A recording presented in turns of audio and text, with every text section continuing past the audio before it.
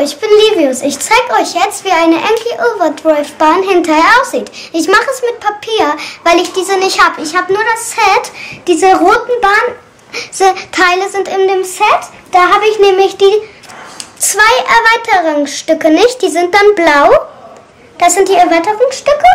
Jetzt zeige ich es euch einmal.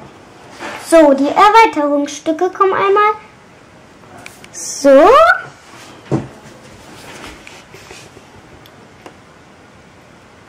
Dann kommt ein nächstes. So. Dann kommt das nächste so.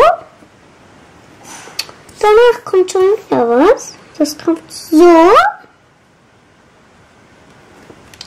Genau, jetzt habe ich das nämlich so. Jetzt kommt eine Brücke. Das sind so Brückenpfeiler, wo das auch so gehen kann. Also hier ist oben, da sind die Brückenpfeiler, kann auch so gehen.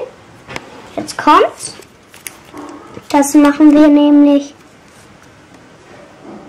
hier so hin. Dann kommt nochmal sowas, was ich gerade eben gezeigt habe. Und das so.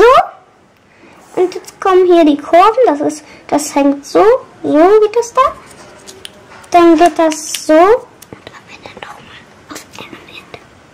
Dann kommt das, dann kommen die zwei Geraden hier so hin. Und dann können wir die Autos starten. Das sind einmal Skull und das ist so ein blaues Auto. Ich weiß gerade nicht, wie es heißt. Da kann man noch andere noch dazu kaufen. Das sind insgesamt sechs Autos, wenn man alle gekauft hat. Und diese Bahn ist dann eine, da braucht man ein Erweiterungsset für Kurven. Vielen Dank, ciao, ciao.